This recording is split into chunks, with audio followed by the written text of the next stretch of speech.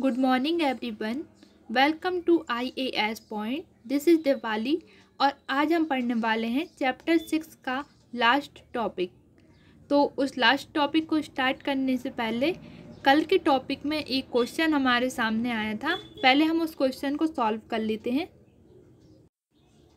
क्या आप बता सकते हैं कि खाद्य तथा गैर खाद्य वस्तुओं का जैविक कृषि विधि का उपयोग कर उत्पादन करना सस्ता होगा?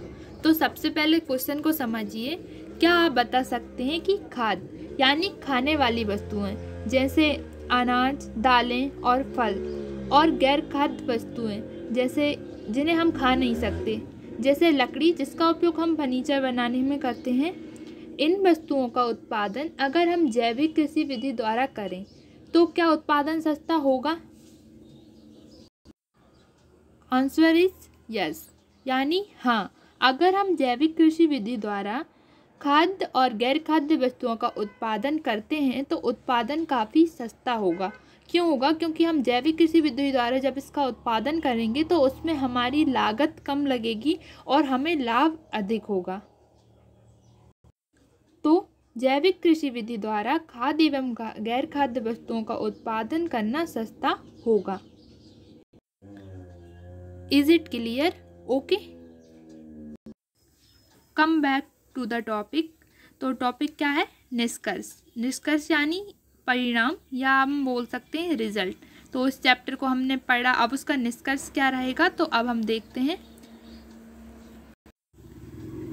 एक बात तो स्पष्ट हो चुकी है कि जब तक कोई चमत्कारी परिवर्तन नहीं होगा, ग्रामीण क्षेत्र में पिछड़ापन बना रहेगा। आज ग्रामीण क्षेत्रों को अनेक प्रकार के उत्पादक कार्यों की ओर उन्मुख कर, वहाँ एक नए उत्साह और स्फूर्ति का संचार करना आवश्यक हो गया है।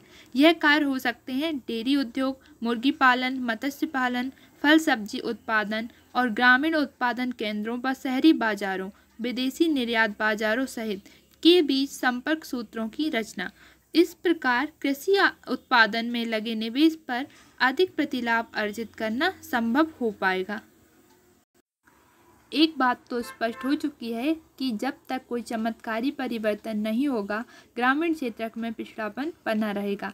इसका मतलब है, ग्रामीण क्षेत्र जो है मतलब जो गाँव के क्षेत्र हैं, उनमें काफ़ी पिछड़ापन बना है और उसे इतनी आसानी से ख़त्म नहीं कर सकते। यानी जब तक कोई चमत्कारी परिवर्तन नहीं हो जाता, जब तक ग्रामीण क्षेत्र से पिछड़ेपन को हटाना बहुत मुश्किल है। आज ग्रामीण क्षेत्रों को अनेक प्रकार के उत्पादन कार्यों की ओर उन्मुख कर, वहाँ एक नए उत्साह और स्फूर्ति का संचार करना आवश्यक हो गया है। मतलब आज यानी वर्तमान में, जो गाँव के क्षेत्र हैं, वहाँ के लोगों के अंदर एक उत्साह और स्फूर्ति का संचार उत्पन्न करना अति आवश्यक हो गया है। यह ज़रूरी हो गया कि वहाँ के लोगों के अंदर उत्साह और स्फूर्ति हो, ताकि वो आगे अच्छे काम कर सकें। अब वो काम क्या हो सकते हैं?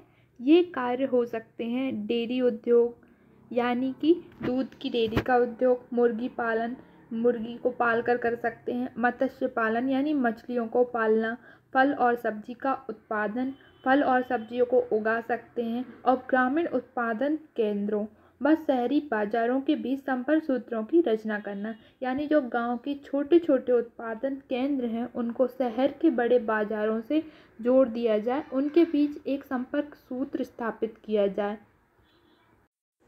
तब इससे क्या होगा? इस प्रकार कृषि उत्पादन में लगे निवेश पर अधिक प्रतिलाभ अर्जित करना संभव हो हो पाएगा। इससे क्या होगा कि जो कृषि उत्पादन में हम जो निवेश, यानी कृषि करने में और उसके अच्छे उत्पादन के लिए हम जो निवेश, यानी कि जो पैसे लगाते हैं, उनसे हमें अधिक लाभ हो पाएगा।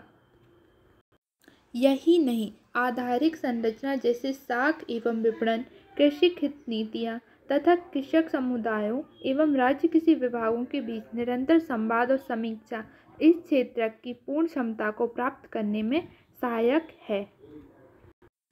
अब साख एवं विपणन क्या है? साख क्या होता है? साख एक ऐसा दस्तावेज़ होता है जिसमें ऋणदाता कर्जदार को पैसा, माल अथवा सेवाएँ भविष्य में वायदे के अनुसार लौटाने के लिए देता है।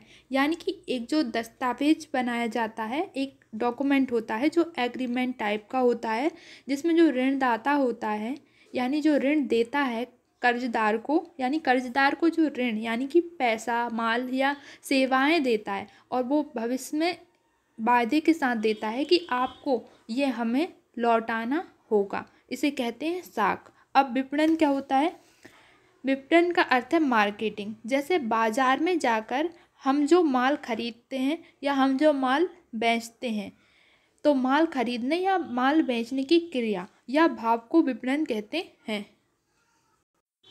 कृषक हित नीतियाँ, यानी कृषक हित नीतियाँ वह होती हैं जो किसानों के हित के लिए जो नीतियाँ चलाई गई हैं, उन्हें कृषक हित नीतियाँ कहते हैं।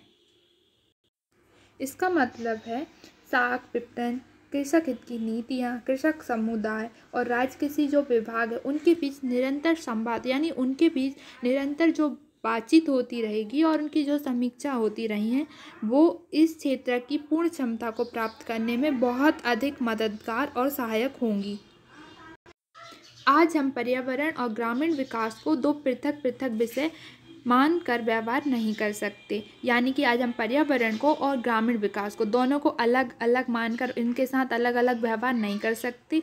नई पर्यावरण मृत प्रौद्योगिकी विकल्प के आविष्कार या प्राप्ति की भी आवश्यकता है, ताकि विभिन्न परिस्थितियों का सामना होने पर भी हम धारणीय विकास की ओर अग्रसर हो पाएँ।